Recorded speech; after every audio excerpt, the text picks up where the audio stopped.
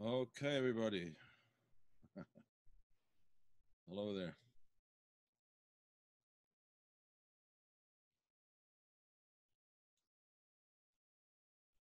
All right, how's the sound? Sound okay? Good, yeah, okay, very good. All right.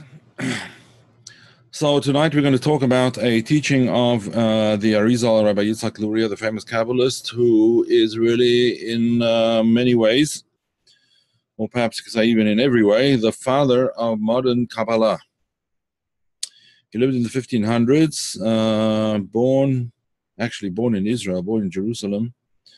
But uh, when he was a young boy, his father passed away and his mother took him to live in Egypt, where his um, where her brother lived, because her brother was willing to support the uh, young family, and uh, so he grew up uh, in Egypt, and then uh, later on uh, moved back to Israel and lived in the holy city of Safed, Tzfat, where he passed away at a very young age, 39. He passed away. um, famous Arizal. He was many stories about him, many beautiful stories. Maybe one day we'll dedicate a lesson to telling stories. Not today. But today's class also has to do with stories, as we will see shortly. Now, towards the end of this week's Torah reading, every week there's a portion that we read in the Torah. This week's portion is called Bo, which means literally translated, come. God says to Moses, come with Pharaoh. In other words, he goes with, well, Moses goes with God rather than, um, he doesn't just tell him, you go to Pharaoh. It says, uh, let us both, so to speak, go to Pharaoh and uh, give the last warning, whatever. And anyway, in any event, in this week's uh, reading, it is the reading, uh, uh, the, um, the, the main, main event probably, is the plague of the firstborn, where the firstborn Egyptians die, and the Israelites are finally uh, not only allowed to go, but even almost chased out of Egypt by Pharaoh and uh, his court. And uh, that is what we're going to focus on. Um, if someone doesn't have sound, uh, please just log out and log in again quickly. I don't think that anyone else is having the problem. okay. Or maybe turn your speakers on. okay, so at this time, before they actually depart from Egypt, before they actually the, the Jewish people actually leave Egypt, God tells Moses to tell the Israelites to dedicate their firstborn to divine service, to dedicate their firstborn to divine service. In fact, um, this was meant to be the, it was actually historically the way it was that generally the firstborn child in a family, the firstborn male in a family, took upon himself the religious obligations of the family. He sort of acted as the priest of the family, and that's the way it always was um, historically, even amongst the Jewish people, um, it was more or less like that. Um, until we get to the time of um, until to get to the time of Jacob, that Jacob was actually born after his brother Esau, but Esau just wasn't um, appropriate for the divine service and didn't want it and uh, gave it up, in fact, and uh, so Jacob took it over and that's the way it was. Um, that the firstborn generally had um, done the divine service, and here it was sort of written in as a um, as a requirement. Kadesh lichol bechor, sanctify to me every bechor, every firstborn of your sons and your animals. Now, what that meant was what that what that what that means is that the the animal either has to be offered as a sacrifice, or redeemed, but children, the firstborn sons, are not offered as a sacrifice, human sacrifice in Jewish uh, in the Torah is absolutely, absolutely forbidden. Human sacrifice of anybody, absolutely forbidden. But the um, the requirement is that the firstborn is redeemed. The firstborn is redeemed. Redeemed with a certain amount of money. In other words, a certain amount of money is given to charitable purposes. Nowadays, uh, it was it was always given to the Kohen, to the tribe of uh, the part of the tribe of the Levites, which were became the priests after the golden calf. But in any event, there was a requirement either to uh, make an offering, a uh, give an offering, an animal offering, or redeem the firstborn. Now, the communication from God to Moses, therefore, redeem the firstborn, or so rather, sanctify the firstborn to God, which then had to be redeemed. Moses, however, immediately turns around and he goes to the people and he starts talking about something else entirely. he starts talking about uh, liberation from Egypt and about how you have to teach your children, V'higadta l'vincha, tell your children about what happened, about the miracles, and so on and so forth. And the question that Arizal asks is why on earth did Moses not immediately do what it was that God had told him to do? which was sanctify the firstborn, tell the Jewish people about the sanctification of the firstborn. And then afterwards, he could have added uh, whatever other um, uh, communications he got from God afterwards. Why did he start off like this? Why did he? Why did he uh, start off telling him about um, the that, that they have to remember the exodus from Egypt and teach it to their children and so on and so forth? So the reason has a very interesting answer. And uh, yeah, that's led to the fast of the firstborn afterwards. Yeah, right. On Erev Pesach, Eve of Pesach, Passover. So the Arizal has a very interesting answer, and he says as follows Moses, Moshe Rabbeinu, wanted very much to rectify the souls of the mixed multitude, the Erev Rav. Now, who was this mixed multitude? Where did they come from? Who were they? So the mixed multitude were uh, were were people that were also living in Egypt. Some of them um, servants or workers of one sort or another. Some of them possibly slaves, although the Arizal seems to uh, discount that. He says they weren't slaves, but in any event, um, some of them may have been uh, slaves of one sort or another, but not enslaved like the Jewish people were enslaved. Uh, the whole whole nation was individuals, born on the slave market or whatever. And um, these people, when the when the Jewish people were let out of their bondage, when they were sort of kicked out or uh, told, you know, leave immediately, we don't want you here anymore. You're causing us too much uh, harm. With all the ten plagues and so on and so forth so uh, what had happened was the um, the um, the the Erev Rav, these uh, this mixed multitude of people, these other people, um, went and um, decided to throw in their lot with the Jewish people and move uh, move with them out of Egypt, leave Egypt with them, and sort of cast their lot together with uh, with the Israelites at the time. Now it seems, says uh, Rabbi Yitzhak Luria the Arizal, it seems that uh, Moses was particularly concerned for them and wanted to rectify them. Because he says they really came from the they had similar qualities. They had similar qualities in them. How do they have similar qualities? So he explains that moses was the aspect of da'at of chokhmah da'at of chokhmah which you could translate as knowledge within wisdom And the Erev Rav, the mixed multitude of people, were people who derived from that original source, even though they weren't there at the time.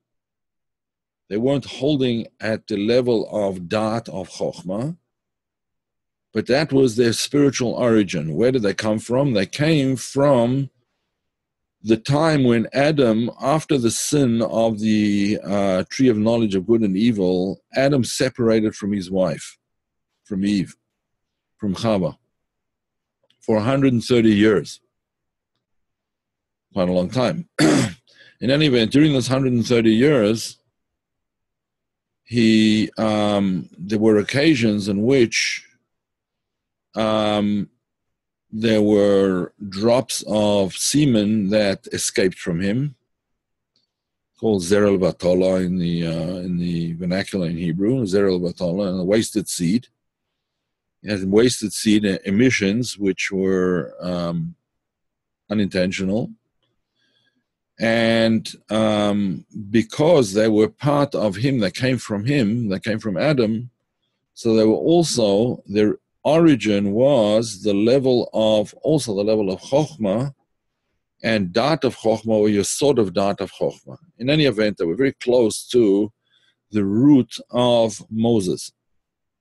So Moses, Moshe Rabbeinu, was very intent on making sure that these these holy sparks, which are now being caught up in unholiness, in klippa, in unholiness, would be able to become liberated.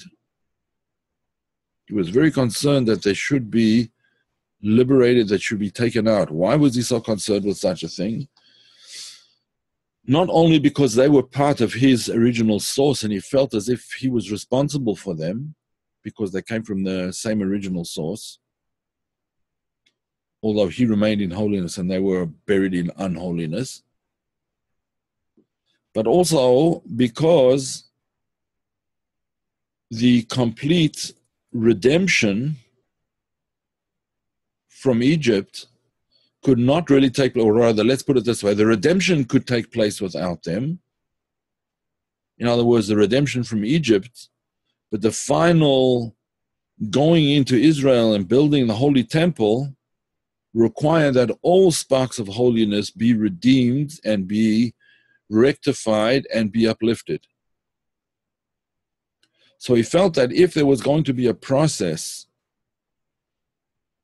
which began with leaving Egypt and then moving towards and eventually entering the land of Israel and eventually building the holy temple in Israel, in the Holy Land in Jerusalem, so that would be either very difficult or impossible to do if there were still aspects of holiness which needed redemption. And even though they could possibly have been redeemed later, his calculation must have been that better redeem them while I have them right here. Rather than afterwards, when I have to go look all over the world for them, I have to go. We would have to go find those sparks everywhere they could be dispersed, they could be buried even more deeply. They could be buried so deeply that there was no possibility of redeeming them. And therefore, he took the chance, and instead of telling the Jewish people, the Israelites, about the commandment of sanctifying the firstborn, he began to speak about the whole concept of redemption and what redemption really means and what redemption is, uh, is all about. So these are some of the words uh, that he says. Remember the day when you came out of Egypt, out of the house of slavery. God took you there, uh, took you out of there, etc., etc. You're coming out in the months of spring. When God brings you to the land, the Holy Land, which He swore to your forefathers, a land flowing with milk and honey, etc., etc um, then you will perform the uh, Passover ritual, the Passover feast, and so on. And then he says a very interesting thing, and he says, You shall tell your children on that day about what happened when God took you out of Egypt. you shall tell your children. In other words, if we just take a long, sort of more philosophical view of the whole picture without looking at the Kabbalistic aspects to such a degree, what Moses was actually trying to do was he was trying to ensure the future. He was trying to make sure that the future, the building of the temple, the uh, entering first entering into the land of Israel, and the building of the temple, and everything that would be there with the the the uh, official sacrifices that we would be able to bring for the Passover uh, sacrifices, etc., that that will be passed down through the generations by teaching your children. In other words, that reality of teaching our children, in other words, teaching the next generation, our children doesn't mean necessarily only our own biological children, but also teaching the next uh, generation Oh, uh, sorry, you want the actual verse? The actual verse is chapter, it's Exodus chapter 13. It starts off at uh, verse verse 1. Starts off chapter 13, verse 1, and then goes on from there. Yeah, okay? Um, yes, they did leave with the Hebrews, in fact. And we see later on that the mixed multitude, in fact, were not ready for this whole thing. They did uh, create, they made the golden calf. They just weren't ready, which God already knew, but uh, Moses did not. In any event, um, so what did he want to do? He wanted to ensure the future. How do you ensure the future? You ensure the future by instilling the whole concept in the next generation. What is the concept that we have to instill in the next generation? The concept that we are free people, that we have left Egypt never to go back again. Leaving Egypt is not just a historical event, it's a cataclysmic spiritual event. Up until the time of the departure from Egypt, up until that time, the revelation of godliness in the world was limited, was a limited revelation. Even the patriarchs and the matriarchs, Abraham, Isaac, Jacob, Sarah, um, Rivka, Rachel, and Leah, Leah, Rachel and Leah, all of them had limited revelation of godliness. In fact, in previous last week's uh, Torah reading, uh, God had said to Moses, I only appeared to the patriarchs by my name Shin Dalet Yud, Shaddai. I only appeared to them in that name. That name has to do with creation.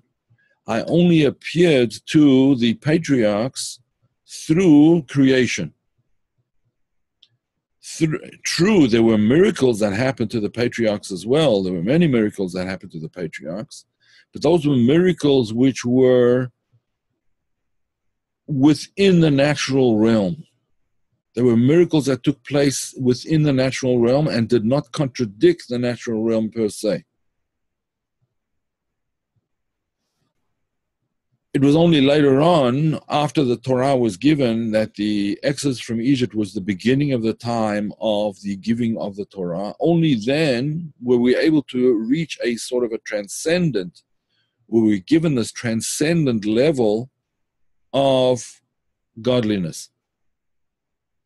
So instead of Moses telling them, sanctify the firstborn, because what does sanctify the firstborn mean? It means that there's certain people who have particular sanctity from birth without doing anything there for it. They were just born as the firstborn of the family. And by divine command, they gain a special status. Even if they aren't worthy of it, uh, worthy of it, even if they're um, um, not very spiritual people, but to have a certain elevated divine status by virtue of their birth. Moses was very concerned about this and felt that if this was the first communication that he was going to give over to all of the people, including the mixed multitude of people, the Erev Rav, that were mixed in uh, with the Jewish people, there will be no possibility for their rectification. Why not?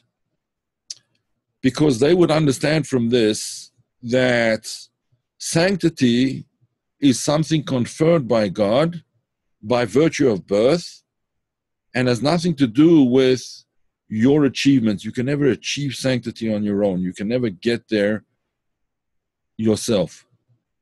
It's something that has to be given to you, and um, no one can give it to you if you aren't born at the right moment, if you aren't born as a firstborn. So Moses was very worried about this.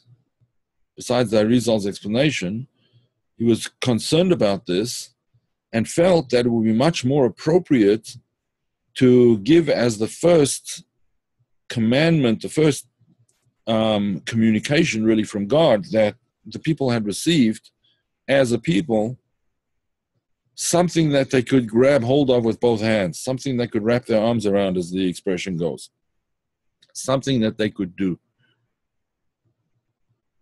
He didn't want um, to introduce this whole new experience of the transcendent revelation of God, which had just begun, with something that is beyond our capacity to participate in. For the vast majority of people are not firstborn. And therefore, he started to speak about something that we can all relate to he started to speak about the concept of moving oneself out of a state of bondage, a state of slavery, out of a slavery mentality. So he says, Remember this day, remember the day that you came out of, uh, of Egypt, remember the day that you ceased to be a slave, and pass that memory along to your children. the only way to remain a free people is v'higadta l'vincha, tell your children. What do you tell your children? First, you have to tell them the story. You have to tell them the facts. You have to tell them what happened. You have to tell them about what our roots are, where we came from, what happened. What was the point at which the transition within us, the transition in the world in, in, in, in many ways, but the transition for sure in the Israelites happened when they became free people. This whole concept of freedom, of being free people, of no longer being in bondage, in other words, no longer being in a state of restriction, but now being in a state of openness to the very, very highest of, uh, of all levels, to a state of transcendence, that was when it began.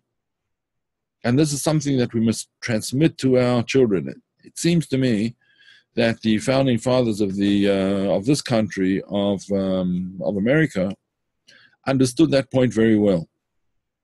They understood that the concept that has to be passed down as the first and the most primal and and and and, and uh, foundational concept is that you are a free person. Don't wait for somebody else to tell you what to do and then you do it. That's a slave mentality.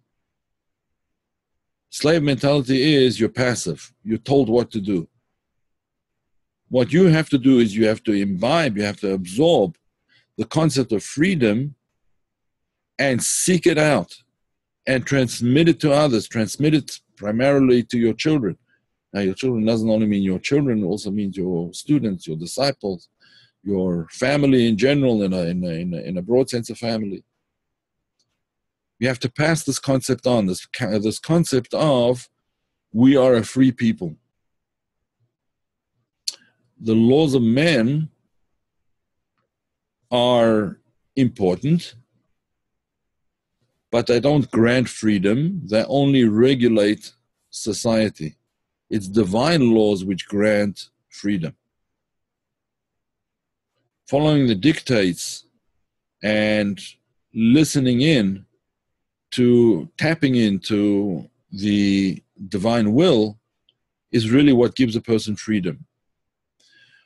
Now, one would think that that's ultimately that's the ultimate constraint that's the ultimate limitation is i always have to live as a uh, as a, uh, a servant albeit a servant to god but that's a servant nevertheless so the our sages tell us that that's not the case when it says that the ten commandments were it says that they were charut al haluchot charut means they were engraved onto the tablets of stone. The Ten Commandments were engraved onto the tablets of stone, scratched into the stone, engraved on the stone.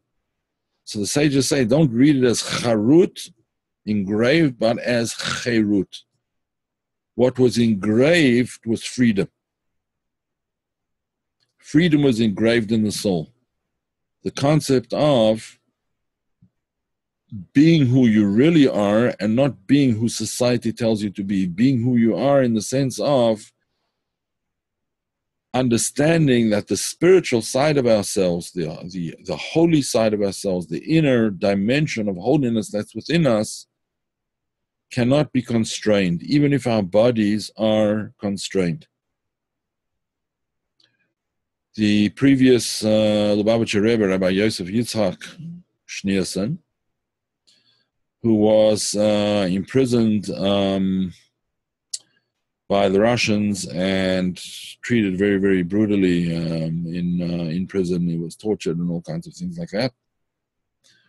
Um, he had said to his disciples, to his followers, even though the body goes into exile, in other words, even though he'll be in prison, the soul is forever free the soul cannot anymore go into exile. It's been it's been placed in a state of freedom.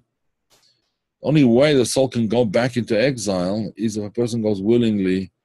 In other words, he he or she takes upon themselves a slave mentality instead of a the mentality of a free person.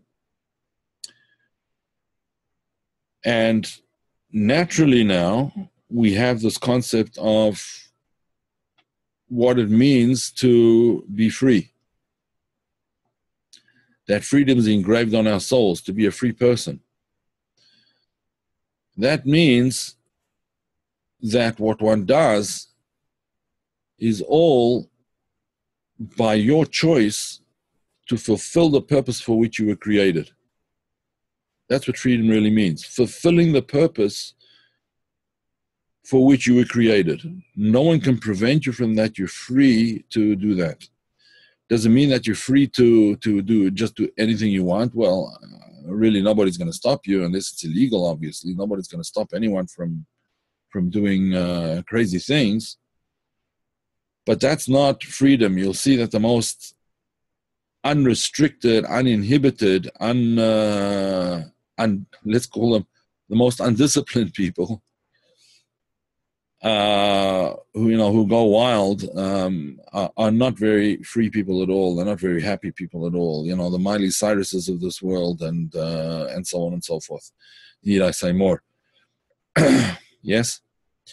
Um, so freedom, therefore, is an inner spiritual state in which we're given the opportunity, we're given the possibility of pursuing our own inner dream, our own inner purpose, our own inner um, sense of what, what what we are here for.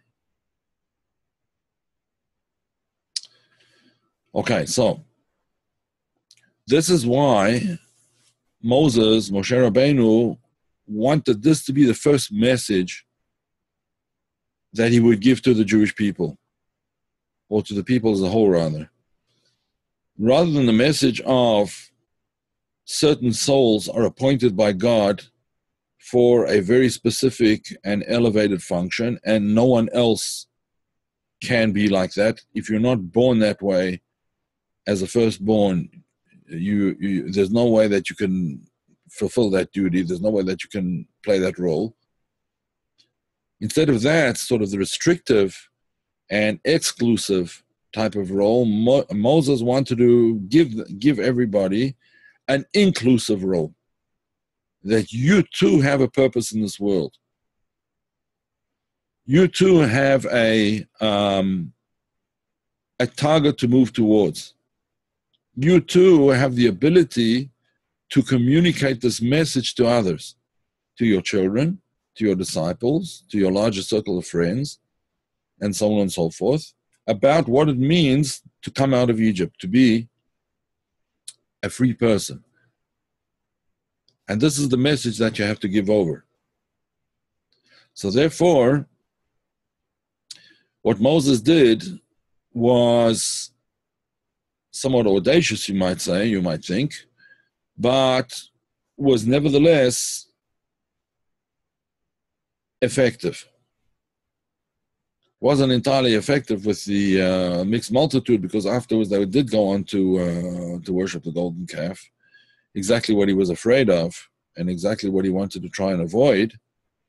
But nevertheless, because something doesn't work, doesn't mean to say you shouldn't try. Uh, if there's a possibility that something will uh, will work, you still have to try, even if it's not a hundred percent possibility. One's going to wait for the hundred percent. Um, you know, basically, will do nothing in the world. You've got to take chances to do the right thing, and if it doesn't work, it doesn't work. Um, which might be disappointing, but nevertheless is uh, is part of reality as well. Okay, so that's the message for tonight for the uh, for this week's parasha. It begins with the concept of Bo, I'm coming with you to Pharaoh. And then Moses tells the people, you have a function, you have a purpose in the broader scheme of things. And even though there is at times designated roles of holiness for different people that not are not accessible to anybody else. That doesn't have to concern you because you can go to the holy land and you can build help to build the temple in any way that you are capable. And that's a contribution which everybody is capable of doing. I'm speaking in figurative figurative terms obviously. It's a contribution that everybody is uh, is has the possibility to give and not only has the possibility but really has the obligation and that's what the um, was going through Moshe Rabbeinu's mind, what he was thinking at the time that he reversed, he switched around the commandments. Okay, any questions, folks?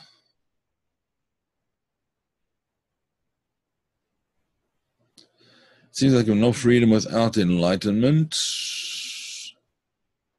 Uh, because without enlightenment, uh, how could we know our truest purpose? Um, a person does not have to be completely enlightened to be able to figure out what it is that he's here for. Yes, it's true, perhaps, uh, it is true that as a person becomes more and more enlightened, um, the purpose changes and it seems to move. Uh, you know, it's sort of a moving horizon, so to speak. That's true. As you climb one hill, you see the next hill in the distance, and then you climb the next one, and so on and so forth. That's true. Uh, but that doesn't mean to say that you have to know the end, the final end point from the beginning. I can say in my own life, and I'm only speaking for myself, but I probably would guess that it's true of most people that as uh, the years have gone by, I'm only 17, as you understand. um, as the years have gone by, um, I've my goal has changed somewhat. My, you know, what I feel my purpose has uh, changed somewhat. Not completely, but uh, you know, the direction, the way in which it's expressed, um, has changed, and you don't need to be enlightened for that. Uh, Yael asks, was Moshe in order to actually change the order of the message? My question is, did not Hashem know this? And important to use the Moshe order how important instead of the order he told Moshe. Um, of course, God knew uh, which, which was the better way to go about things because he knew that the mixed multitude would not be there that affected by it. But it doesn't mean that Moses made a mistake. He understood things from the human point of view, and uh, um, sometimes um, we see that Moses and Abraham and uh, many of the great uh, many of the great um, saints of the Bible actually argued with God. They argued with God and um, sometimes prevailed. There's the famous story, I think I might have mentioned it to you before, um, not 100% sure, but the famous story of Rabbi Eliezer, Rabbi Eliezer. This is a time that is told. This is a story that is told at the time of the the Mishnaic period, first second centuries. Um, before the Talmud itself was written, the Gemara was written. Uh, this was the time of the Tanoim, the Tanaitic period, which uh, would last from before, um, let's say, um, hundred years before the Common Era until 200 years after the Common Era, during the time of the Roman rule, and so on and so forth. About 300 year period, approximately. In any event, the story is told of the great Rabbi Eliezer, the great, great, great sage. And one day, a person came to him. His name was Achnai. Achnai. Now, Achnai was an inventor, a Jewish inventor and he figured out a system he figured out an idea that how to avoid ritual impurity of ovens if an oven became ritually impure it had to be smashed and uh, then a new one built in its place but he figured out a way how to um, avoid ovens become ritually impu- becoming ritually impure and uh, not to avoid them becoming ritually impure, but how to rectify them without completely destroying them and starting over and making new. The ovens were made out of clay in those days. What did he do? He made an oven that was modular, right? Could be taken apart. And if it's taken apart, it's not really called an oven. So it's just pieces now. So once it's in pieces, uh, the modular oven, all you have to do is take it apart and put it back together again, and then you have your oven the way it was. So he went to the great Rebbe Eliezer and he said to Rebbe Eliezer, um, This is what I've done, and is it kosher? So Rebbe Eliezer was uh, delighted with it, and he said, "Yeah, indeed, it is. Uh, it is kosher." But as um, you know, many mm, entrepreneurs will uh, will do, they don't want just one uh, stamp of approval. They have to have several because that way it gets more. Uh, you know, uh, you can sell more. Um, you can sell more items that way. You can sell more ovens that way. So he went to various other sages in the in the study hall and he asked them, and they said, "No, it's no good." So then an argument ensued between Rabbi Eliezer and uh, the other sages. Now, let me just explain something for uh, for those of you who are not familiar with uh, Jewish practice. One of the ways in which knowledge advances is through disputation, disagreement, argument. There's a way of resolving arguments, and that is we go according to the majority opinion. If the majority of the sages say one thing, then the opinion of the minority is nullified, and the minority has to follow the opinion of the majority. It's like just like uh, you know in uh, in a in a court of um, uh, in a court in a court in a modern court system, the majority makes the decision, right? They decide according to the majority. In any event, so uh, the sages started arguing uh, about which uh, opinion was correct. Was it Rabbi Eliezer's or the other sages, including Rabbi Yehoshua? And Rabbi Eliezer, in arguing with him, said, If I am right, let the river that runs past the study hall reverse its course and run uphill. And they went outside and they saw that the river was had suddenly reversed and was flowing upwards. Obviously, a miraculous event, which uh, I don't suggest you try with your bathwater. In any event, um, the sages then said to Rabbi Eliezer, as they said, the rivers don't prove anything. Right? The way the rivers run doesn't prove anything. So uh, he, he, he then said, if I'm right, let the carob tree that is outside the study hall move a hundred meters away. And it did. And they said a carob tree doesn't prove anything. Then he said, if I'm right, let the walls of the study hall cave in. And Rabbi Yehoshua, who was of the other side, said, no, they may not cave in. So they already started to cave in.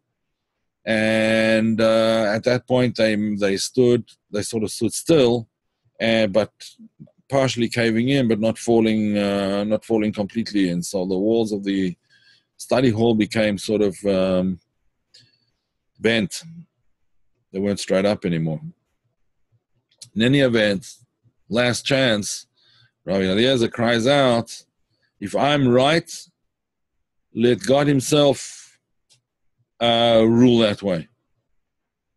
And a voice came out of heaven, what they call a bas kol, which is a sort of an echo. An echo came out of heaven and said, Rabbi Eliezer is right. Why are you disagreeing with him?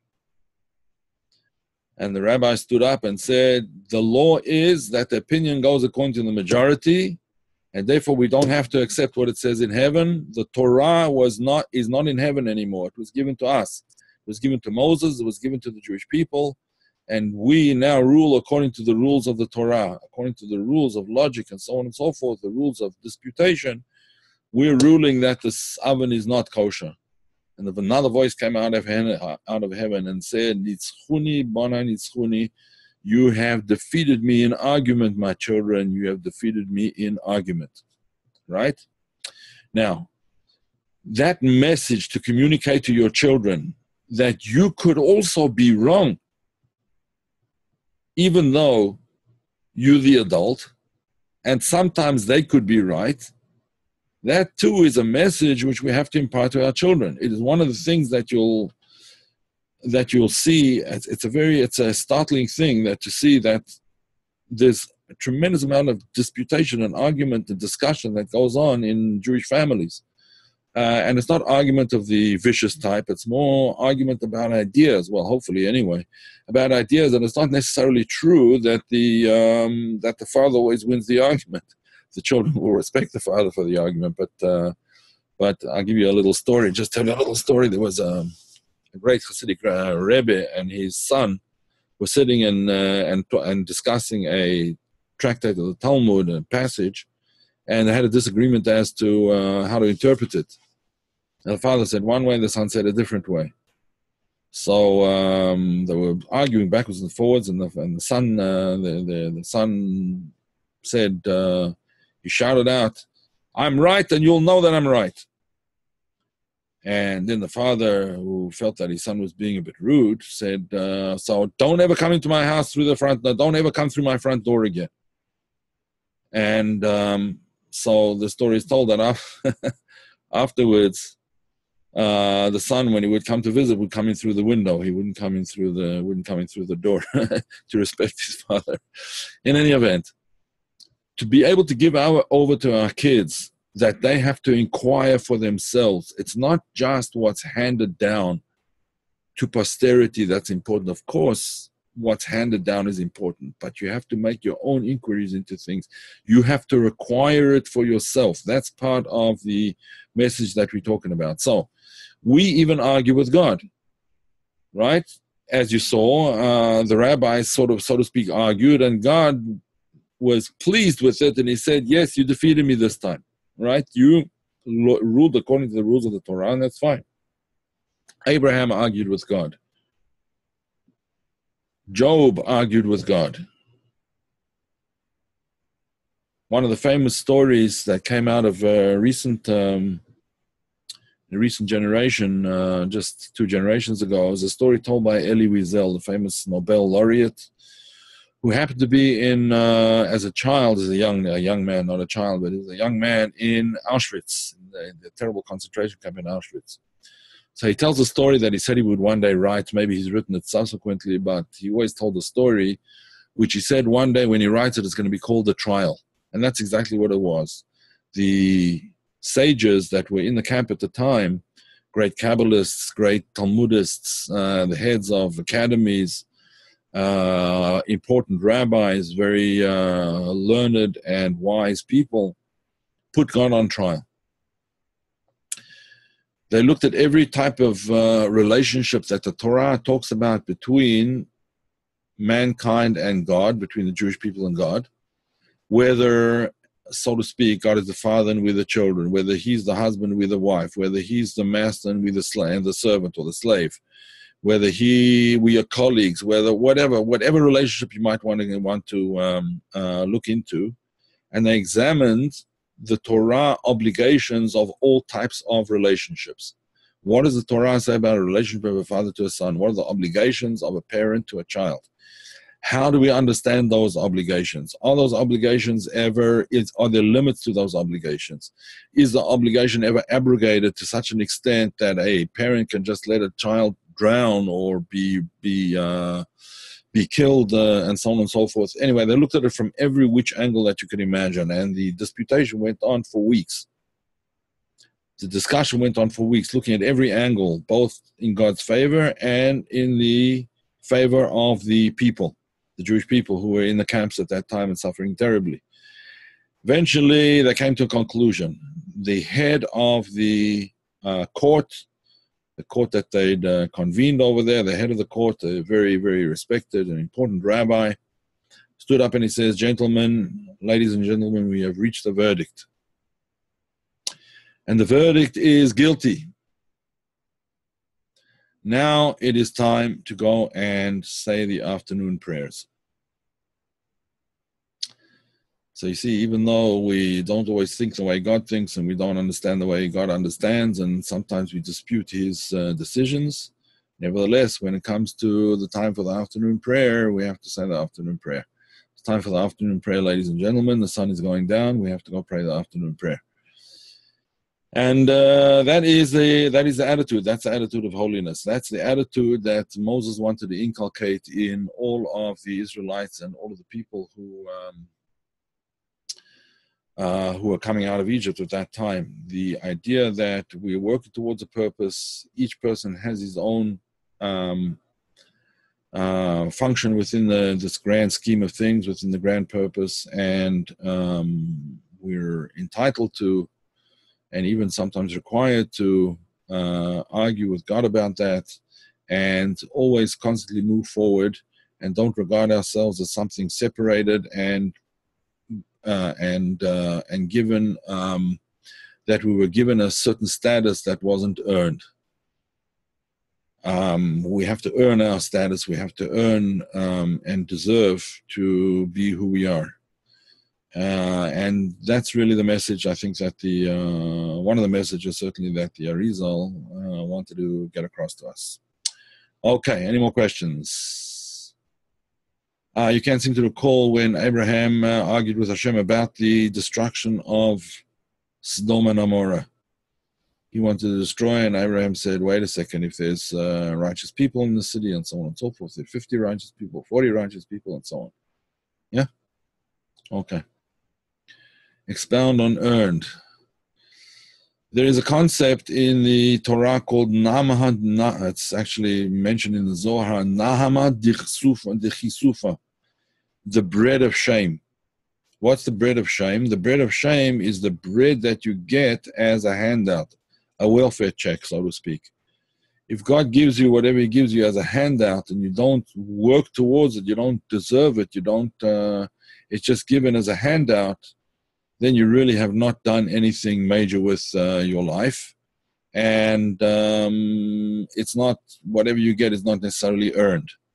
We see there's a, just to give you an example of a case recently, um, there was a case of, uh, I don't remember all the details, but there was a, a young boy who uh, was driving his car and he drove recklessly and he killed people. And the, the lawyer's argument uh, to the court, which was a successful argument, was that he was affected by affluenza. Yeah, affluenza means he came from a very, very affluent family, very very wealthy family where like he didn't you know to the extent that everything was always done for him he didn't understand what he was doing um, and uh, unfortunately there are people like that um, that they behave that way and have very little regard for the feelings of other people, for the needs of other people, and so on and so forth. And uh, that's kind of the bread of shame, you know. We, if we if we if we don't deserve, if we don't work to deserve what it is that we have, all the good things in our lives, if we don't really, if we just hand it to us on a on a, on a silver platter or golden platter, uh, well, it's nice that we got them, but let's let's deserve them. Let's do things that earn us the right to have that, so to speak. Like actions speak louder than words. Yeah, that would be uh, if I win the lottery. Don't give it all away. You can give some of it away. It's no obligation to give everything away, Terry. If you win the lottery tonight, um, you have a number of members of your colleagues over here will be lining up. but if you do win the lottery tonight, don't give it all away. Give you give you can give a fair amount, ten percent, twenty percent, whatever it is. A fifth is uh, is the most generous um, measure that most people would be, uh, you know, very happy giving, and certainly for people accepting ten percent, twenty percent, whatever. Um, yeah, parent a child, we give before the child even asks for it. That's true. That is true. But if we spoon feed our children, unfortunately, I think this is what's happened uh, to a large extent in this country. We spoon feed our children to the extent that they, they remain children now until they're 25 or 30. Um, and that's, you know, that's just not, it's not the way things should be. A person should, even children should learn to earn their keep. For a child to go out and get a you know a part-time job so that he can make himself pocket money, even if the parents can afford to give him as much as he needs or she needs. Um, nevertheless, I do believe that it's important for the child to learn the value of money by earning it.